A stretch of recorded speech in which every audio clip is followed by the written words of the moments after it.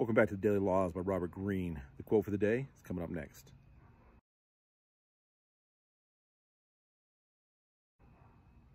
The quote for the day is friend to lover, right?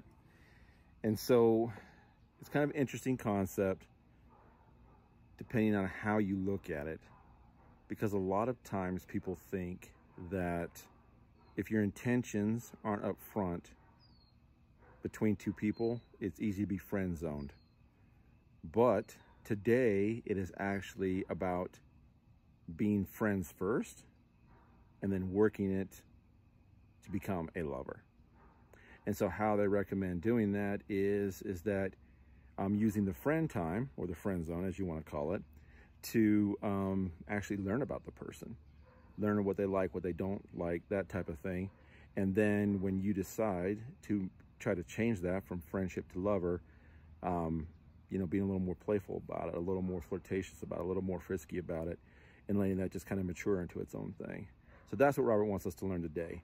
He believes that there is a way to go from friend to lover. That's what he wants us to learn. Until tomorrow.